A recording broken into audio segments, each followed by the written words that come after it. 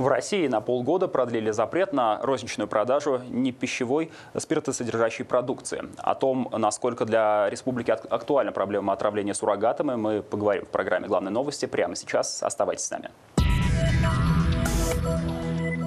Напоминаем, что для вас действуют телефоны прямого эфира, по которым вы можете задать свои вопросы 511 99 66, а также 8 800 532 55. Вы можете позвонить и задать свой вопрос в прямом эфире. Я вас познакомлю с гостем нашей студии. Сегодня ей стала Фния Шайдулина, главный специалист-эксперт отдела надзора по коммунальной гигиене Управления Роспотребнадзора по Республике Татарстан. Фния Габединовна, здравствуйте. Здравствуйте. А, итак, прежде чем мы начнем обсуждать сам запрет, что конкретно запретили, я бы хотел уточнить, э, это именно тот запрет, который связан с массовым массовым отравлением э, подобными суррогатами в Иркутске в конце 2016 года. Все верно. Э, вся эта эпопея началась э, с той меры, печальными известными событиями. Первое постановление о запрете пищевых продуктов, спиртосодержащей продукции у нас было вынесено главным государственным санитарным врачом Российской Федерации. Оно называлось 195, а 23 декабря. Вот с этого момента Роспотребнадзор ведет мониторинг и осуществляет надзор Э, за реализацией непищевых спиртсодержащей продукции. Угу. Тогда в Иркутске буквально за не скончалось более 70 человек от э, той самой настойки боярышника. Какой результат получен после того запрета? Насколько актуально продление его сейчас? Мы бы хотели вот понять, какая статистика, как изменились данные вот за этот период э, с э, декабря прошлого года?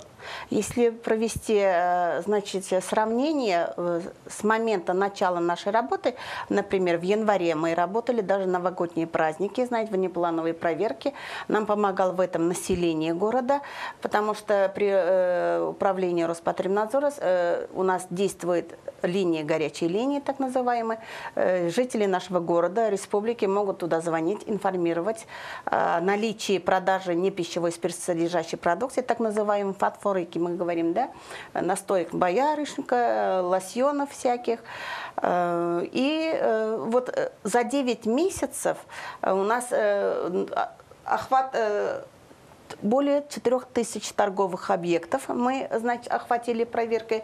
И 1137 единиц мы нашли запрещенной продукции.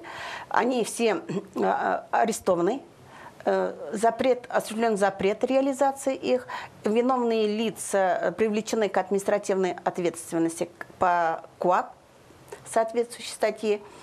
Э, если вначале мы выявляли реализацию этой продукции много, факты подтверждались каждый раз, то вот ближе вот к сентябрю у нас реализация такой все-таки редко. То есть индивидуальные предприниматели, юридические лица все-таки э, взяли на значит, э, исполнение этого постановления. И этих постановлений будем говорить, потому что они проклевались время от времени. Да? Сначала 30 дней, потом 90, вот сейчас уже на 180 дней. То есть э, юридические лица реагируют адекватно, мне кажется. Угу. Но дело ведь касается теперь не только настойки боярышника спиртосодержащая непищевая продукция – это более обширное понятие. Более Расскажите, обширное. что там конкретно запрещено, по каким категориям товаров теперь есть запреты? Этим постановлением запрещено спиртосодержащие непищевые продукции, в том числе э, парфюмерно-косметической продукции, угу. так называемой лосьонной, и э, бытовая химия для обработки там. И, э, ну вот, э, как бы для наружного применения. Настойки боярышники, там всякие лосьоны, да, они же все для наружного применения. За исключением парфюмерной косметической продукции, более дорогие, да, и плюс укупорочными э, оборудованные вот, пульверизаторы. Mm-hmm. А... И гелеобразные парфюмерная косметическая э, продукция, она тоже туда, вот сюда не входит. А что касается лекарственных средств или, допустим, средств для автомобилей, ну, те же антифризы, которые э... тоже употребляются некоторыми лицами? По спиртосодержащей незамерзайке у нас стеклоомывающие незамерзайки, так называемые, э, на, на них запрета нет. Однако они при реализации тоже должны соответствовать определенным требованиям. То есть э, должны иметь э, юридические лица, которые реализуют эту продукцию, весь сопроводительный э, материал. То есть с начала производителя и до торговой точки. Должны быть регистрационные удостоверения, подтверждающие безопасность данной продукции. Угу. Поэтому э, и э, на этикетке э, должно быть э, все э, указанные соответствующие э, требования. Угу. Это у нас регламентируется едиными санитарно-эпидемиологическими требованиями. Вот, поэтому но проблема-то здесь более глубокая. То есть даже если юрлицо продает э, качественный товар, который вы говорите, весь сертифицирован и со всеми обозначениями, при этом некоторые лица продолжают его употреблять. Э, это ну, употребляет, э, мне кажется, человек, э, применяющий, употребляющий стеклоомывающую жидкость, извините меня, это уже ненормальный больной человек. Угу. Как раз-таки вот у нас есть голосование в группе ВКонтакте э, по теме нашей программы. Сегодня мы спрашивали наших пользователей в группе Татарстан24. Э, лично вам мешают продажи боярышника? Это как раз э, для понимания наших телезрителей, для чего мы делаем эту программу. Есть три варианта ответов. Да, страшно ходить по вечерам. Нет, мы не замечаем. И другое. И пока как раз-таки большинство проголосовавших, это 57%, считают, что нет, они не замечают ту самую продажу боярышника, и их это не касается. Так ли это на самом деле? Ну, они могут замечать в том случае, если эти точки реализации, будем говорить, да, вокруг э, образовывают свалки, так называемые бутылки, вот эти вот фанфориков, да, плюс народ, применяющий эту э, продукцию, нарушает тишину, шумят, э, значит, ну, в таких случаях, конечно, люди могут замечать. А так, в основном, они продают не в открытую ведь эти точки. Из-под тяжка купил человек, ушел оттуда. Может быть, поэтому и не замечает как бы. Угу. Поэтому призываем наших телезрителей тоже голосовать, звоните в нашу программу. Мы еще мешают ли вам лично продажи боярышника этих самых фанфориков, как вы говорите? Так называемые. А, да, ну и Проблема-то еще в том, что достаточно много денежных средств мы тратим на лечение данных лиц. Вот у нас здесь данные на апрель 2017 более 1 миллиарда рублей ежегодно э, уходят на лечение людей, э, именно тех, кто отравился суррогатными веществами. Достаточно большая цифра. Э, как, как-то изменится вот эта цифра в результате этого запрета и почему именно на полгода? Ну, потому что, видите, сначала запрещали на 30 дней, да, угу. начиная с декабря, а потом продлили на 60, потом на 90. То есть все равно употребление продолжается. Угу. Поэтому в целях э, профилактики заболеваемости, в целях экономии бюджетных средств, так называемых, да, все равно же э, люди, если отравляются, они поступают в больницы, на них действительно э, тратятся большие средства, финансы. И человек употребил, то при этом он ведь э, не только отравление, сердечно-сосудистые заболевания, онкология, все может быть, э, печень, заболевания печени. Э, в целом система, системно надо лечить, поэтому такие финансовые затраты, видимо. Угу. Ну, э, тогда этот самый запрет начался в результате массового отравления в Иркутске. 75 человек э, тогда скончалось от э, употребления настойки боярышника. Угу. Насколько остро проблема стояла у нас в регионе? у нас понимаем? в регионе таких случаев не было. Угу. Но реализацию, я же говорю, мы обнаруживали. Но таких массовых отравлений у нас не было. Но есть случаи э, не массовые такие, а, э, значит, несколько. Но смертельных случаев у нас в республике пока по-моему, не регистрированный. Угу. Ну и э, вот э, их обнаружение сейчас продолжается, данных средств, их продажи, э, розничной торговли, да. Как, как это сейчас дело обстоит, насколько статистика э, меняется? Ну, например, у нас в Нижнекамске обнаруживали, угу. в Заинске обнаруживали точки, да, реализовывают вся работа, которая необходима в этом в реализации этой постановления, Роспотребнадзор все осуществляет, запрещает реализацию, э, э, ответственных нарушающих данное постановление, знаете, привлекает к административной мере наказания. И, э, значит, в дальнейшем тоже ведется постоянный контроль. Угу.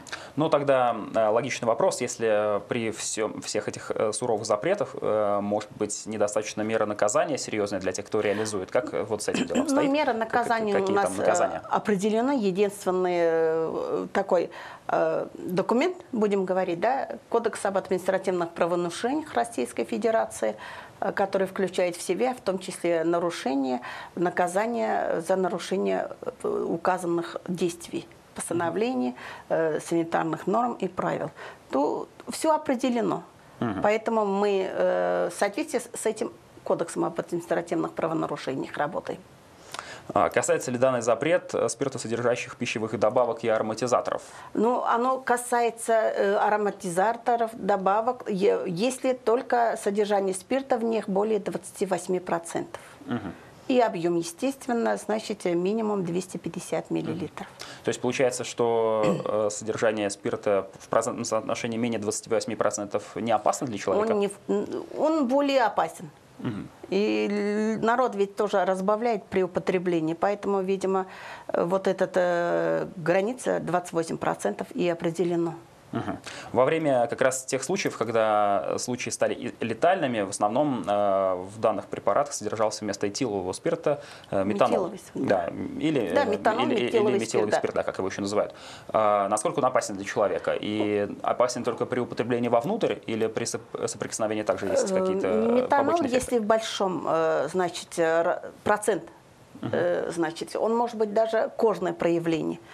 Но при употреблении вовнутрь в, пер, э, в первую очередь на нервную систему действует и на зрение. Человек может запросто ослепнуть. То есть он выпил с вечера, угу. лег, утром проснулся и может Но только при употреблении вовнутрь, то есть вовнутрь, при соприкосновении да, никакого тогда вреда может для быть вот нет. такие э, нарушения, значит, печени, э, желудочно-кишечный, желудочно-кишечный тракт и слепота угу. зрения. У нас есть первый дозвонившийся телезритель, который готов задать свой вопрос. Итак, здравствуйте, говорите, мы вас слушаем.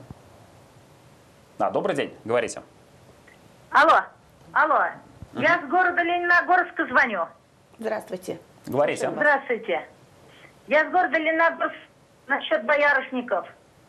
Вообще нельзя продавать эти боярышники. Молодежь пьет, и средний, и возраст молодой. А какое поколение после них родится? Они же все больные будут. Угу. Надо запретить. Да, спасибо большое. Это, кстати, очень расхожее мнение. Можно ли, в принципе, задержи... запретить продажу конкретно вот этой настойки?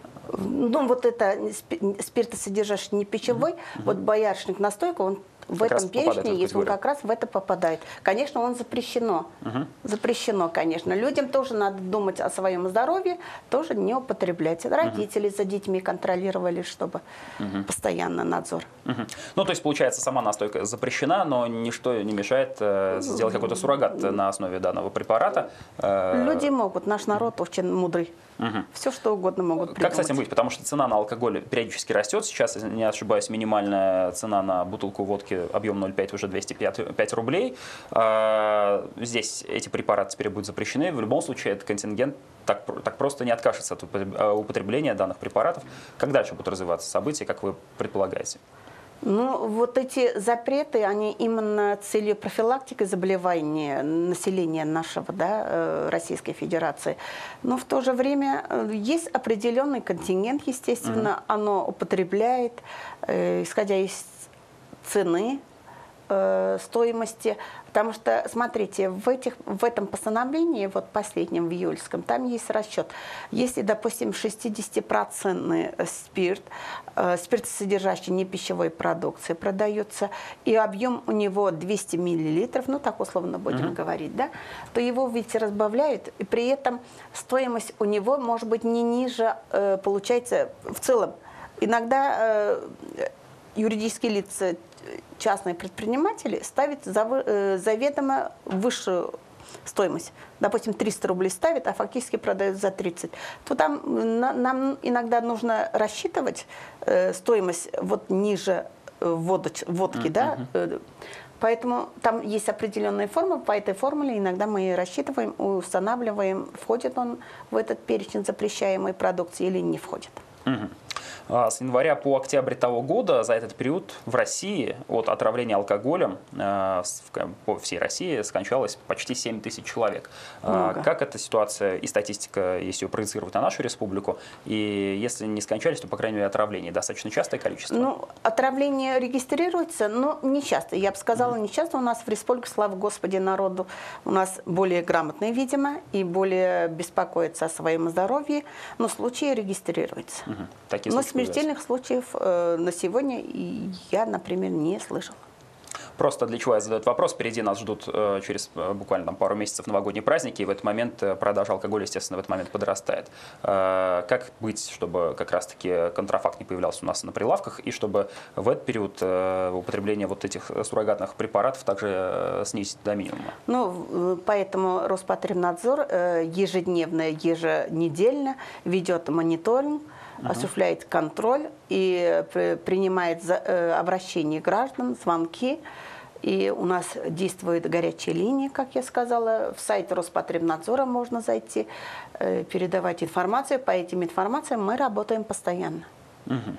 Ну и есть еще отдельный запрет у нас, это закрытие рюмочных и тех самых наливаек во дворах, когда вход выходит именно во двор жилого дома. Э, Данный запрет уже действует, закрыто более сот- нескольких сотен таких рюмочных у нас по городу. Как это положительно или э, никак не сказалось на как раз-таки данной статистике, потому что в данных так называемых барах продавались в том числе и настойки боярышника. Вот смотрите, э, я специалист по коммунальной гигиене. да. В данном случае в этой области у нас напрямую работает отдел гигиены питания. Поэтому вам конкретно цифры я не могу сказать, но вот размещение таких рюмочных, так называемых, э, в жилых домах и с выходом во двор или, э, значит, э, ре- на первых этажах, оно, конечно, влияет для такого контингента определенного, которые пошли, 100 грамм, 150 грамм выпили и все. Поэтому я одобряю эти меры тоже закрытия, э, значит, да. Оно, и потом ведь у нас нормируется, допустим, реализация спиртсодержащей продукции на расстоянии определенных, э, на, на определенном расстоянии от школ, от детских э, дошкольных учреждений, от вузов, например. Это ведь не зря разработаны эти мероприятия, запреты. Поэтому А, И как раз э, подытожив нашу программу, э, хотелось бы больше, э, более конкретно проговорить про тот контингент, который употребляет данные настойки. Потому что если анализировать ту ситуацию, которая была в Иркутске, из 75 человек, которые тогда скончались, всего лишь парочку из них были лицами без определенного места жительства. Среди них, среди тех, кто скончался, были люди и с работой, и с семьей, то есть это не были люди бездомные или бомжи. Вот здесь в данном случае понятно, что продавать нельзя. А что делать с теми, кто все-таки употребляет? Как здесь вести э, Ну, работу? вести пропаганду в, э, средствах массовой информации, по телевидению, как говорится, да. Поэтому, может быть, э, хоть кому-то дойдет, что нельзя употреблять, и надо беречь свое здоровье, надо, никто будет беспокоиться о твоем здоровье, кроме как ты сам. Да, но просто если говорить про этих лиц, то есть вы как это контингенты для себя определяете, Ну, в потому что с, с- с кем определенный работать. такой, да. Поэтому Ну, э, тогда заканчивая нашу программу, давайте еще раз проговорим, чтобы наши телезрители понимали, о чем мы говорили.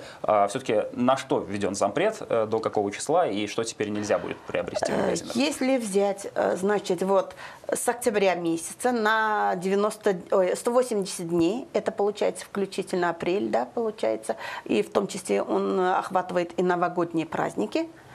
Э, Запрещено спиртосодержащая непищевая продукция. Это лосьоны, тоники, настойки типа боярышника, э, многих наименований э, этих настоек, э, парфюмерно-космическая продукция, э, которая тоже тоники, лосьоны, да, они же тоже э, входят в этот перечень. Сюда не входят вот только парфюмерно-косметические более дорогие и укупорочные э, свой- э, средства, которые имеют. Вот. И сюда не входит э, стеклоомывающие жидкости. Хотя это не говорит о том, что они не запрещены. Они ведь тоже э, спиртосодержащие. Там э, не должен быть метиловый спирт не более 0,05%. Но при анализах мы при отборах продукции иногда выявляем превышение этой э, концентрации. При этом тот список, который вы перечислили, позволю дополнить себе, крепость э, спирта там должна быть более 28%, 28% и более, от да. общего объема. Не ниже. Да, на этом мы с вами прощаемся. Спасибо вам большое за участие в нашей Спасибо. беседе сегодня. Э, В студии у нас была Фания Шайдулина, главный специалист-эксперт отдела надзора по коммунальной гигиене Управления Роспотребнадзора по Республике Татарстан. Будем следить, как будут развиваться события Да, далее. хорошо, будем На этом мы работать. попрощаемся с нашими телезрителями. Это была программа «Главные новости». В студии был Тимур Рага. Всего доброго.